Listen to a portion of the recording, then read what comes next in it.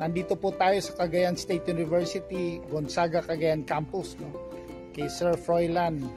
At ah, ipinakita po sa atin yung ah, proposed ah, Bamboo Sanctuary of the North. So napakaganda dahil sa bahaging ito, nagpo-propagate ng napakaraming species ng ah, bamboo po. At ah, maganda po itong pasyalan. Tara!